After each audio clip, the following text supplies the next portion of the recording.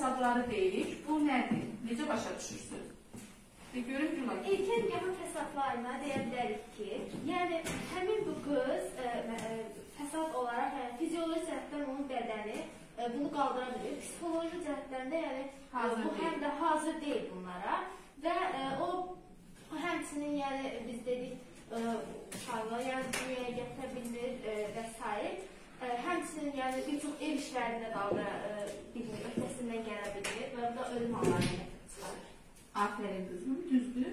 Uşaqlar gördüyünüz kimi erkən nikahda insan ailə yəni ki qurarkən o həm savadlı, həm təhsilli, həm sənət sahibi, həm də ki həyatı dərk etməlidir, dərk etməlidir.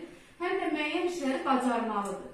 Erkən nikahda isə 12, 13, 14 yaşında uşaqlar bunları bacarmır, dərk eləmir. Ona görə də yəni onlar uşağı dünyaya gətirərkən həyatını itirir, Bundan əlavə o həyatı dərk edəndə artıq çıxılmaz vəziyyətdə qalır, çünki onu öz ailəsi buna cəlb eləyib axı.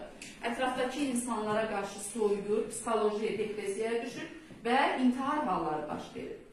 Uşaqlar, Azərbaycanda erkən nikah azalmışdır. Son 10 ildə əvvəllər daha çox idi.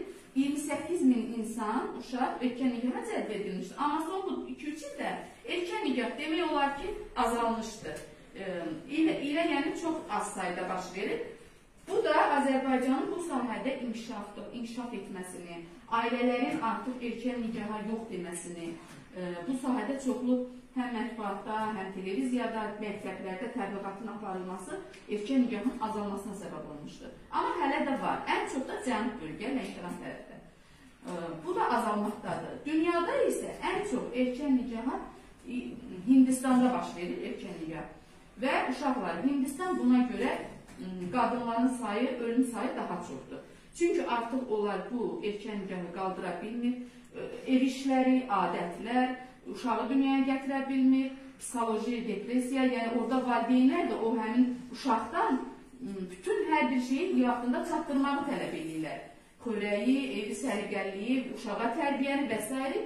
Ona görə də bunlar çatdıra bilmir və bədən qüvvədən düşür, ölüm halları çoxalır. Bundan əlavə uşaqlar, erkən nikahda ən çox savadsızlıq və təhsil səviyyəsinin aşağı olması, bu ən çox savad səviyyəsi aşağı olan ölkələrdə baş verir. Ancaq bizim ölkədə hər il, hər ay demək olar ki, buna qarşı böyük işlər gedir, həm dövlətimiz tərəfindən, həm də dövlət orqanları tərəfindən, yəni ki, bu sahədə böyük işlər görülür.